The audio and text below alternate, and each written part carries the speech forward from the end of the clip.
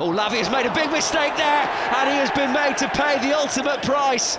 Diogo Jota opens the scoring for Liverpool. It's a horrible error from Southampton's central midfielder.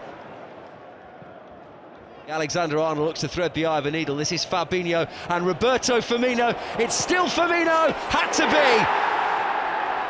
One last little wave of the wand from Roberto Firmino before he says his Liverpool farewells.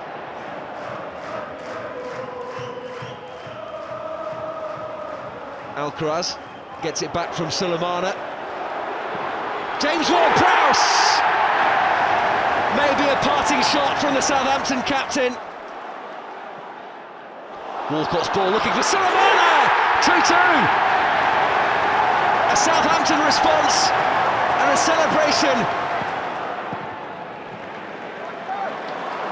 Here is Sulemana. Skipped away from Fabinho. Walcott wants it, Sulemana's going alone! Brilliant!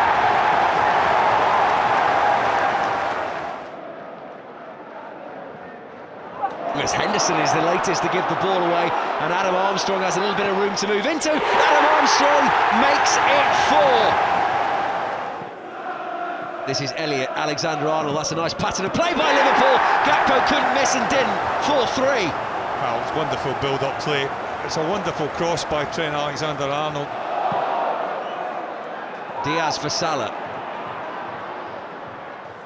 Jota ahead of him. It's Diogo Jota! A rapid-fire double from Liverpool. An extraordinary game. Diogo Jota has rattled one in.